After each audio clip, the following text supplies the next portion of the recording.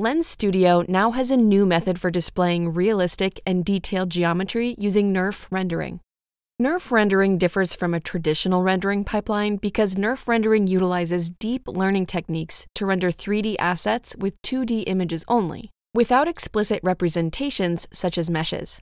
Lens Studio's proprietary SnapML technology enables rendering 3D objects or scenes with machine learning models efficiently on mobile devices using a Neural Processing Unit, NPU, or Graphics Processing Unit, GPU.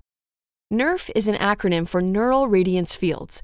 This rendering technique uses machine learning to take a limited set of input images of a scene or object and use that data to extrapolate information to display 3D objects from any viewpoint.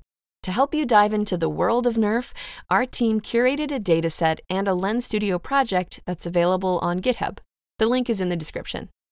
Functionally, it is similar to photogrammetry in that you can capture data of real world objects via 2D images and then process that data so that it can be displayed in 3D.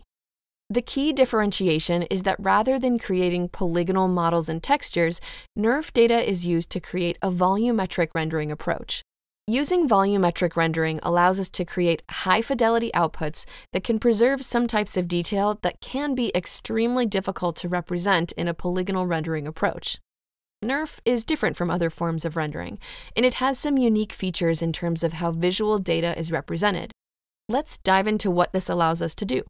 First and foremost, Snap's NeRF pipeline for Lens's mobile R2L allows us to create realistic representations of complex objects with high fidelity to the original source material that runs on mobile devices in real time.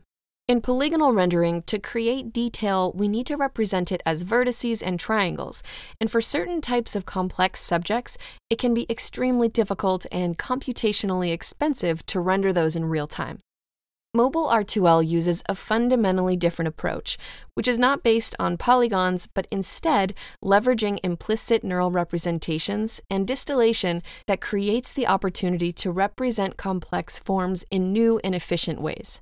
We'll use this chair as an example to showcase the rich detail and realistic lighting we can achieve using this new workflow. Using NeRFs means that we can represent precise, real world data in a highly detailed and realistic way offering a new approach to high visual fidelity in AR experiences on mobile devices. Now, let's take a look at how to set up mobile R2L data in Lens Studio. First, let's create a new project. Next, we'll add our files to the current project and open them up in our new scene. For our trained data, we'll need to modify the outputs in our compatibility channel. Select the model file in Resources and in the Model Import settings, let's change the values of channel 0, 1, and 2 to 255.0. In the Object panel, we need to add three objects in order to display a mobile R2L dataset in Lens Studio. Let's add three ML component objects under our camera. The first ML component will hold a reference to our model data that we want to render. In this case, the data representing our chair. Let's select our GeluSnapChair.onnx file and get that loaded in. The second component is the embedder component, which enables us to get the state of the camera in order to render our NeRF from the vantage point of our camera in the scene. Finally, we add the sampler to the third ML component, which does the final steps of drawing our data as pixels to the screen. Taken together, these three components help load, update, and render our NeRF data in our lens. There are a few final steps in order to get things displaying correctly and as expected within Lens Studio. We've included the ML controller script, which contains a number of variables related to our mobile R2L object, specifically referred to as our scene intrinsics, but it's best to just think of them as regular control variables. Before we dig deeper into intrinsics, let's add our ML components to this controller. The chair, sampler, and embedder all need to be referenced. The intrinsics data helps us create a one to one relationship between our internal scene camera and the original camera data used to generate our NeRF data.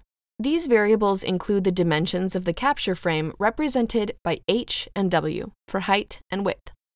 The radius variable is specific to the NeRF scene scale, and frustum data is given by the near, far, and focal variables. Finally, the cam angle is a representation of the field of view of the camera. Next, we add an output image for our chair. We add an output texture to the scene.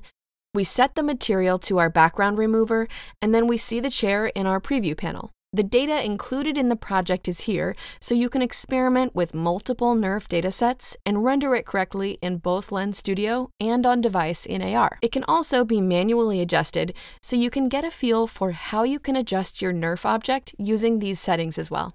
If you would like to see a bit more of what mobile R2L data can do on your own, we have included a few snap codes that you can scan to experience mobile R2L rendering of other types of objects on iPhone 13 or higher devices. Just scan any of these snap codes to load up the individual lenses and try them out. These small demonstrations can give you an idea of what mobile R2L rendering looks like for a variety of subjects, as well as how they perform both in terms of visual fidelity and frame rate on your own hardware. The workflow for creating or training your own mobile R2L datasets is different depending on how you want to approach it. The training process is computationally intensive, and while it's possible to train models on your desktop computer, many people choose to use cloud infrastructure for training. We've included links in the description of the video to resources that will explain how to get started. Early research into NERF showed promise in terms of the algorithm's ability to generate incredibly realistic views of real objects. But initially, rendering this data was a cumbersome task that was best suited to high end desktop rendering. The innovation that Snap's research team has brought to Lens Studio is the ability to efficiently render NERF data on mobile devices in real time.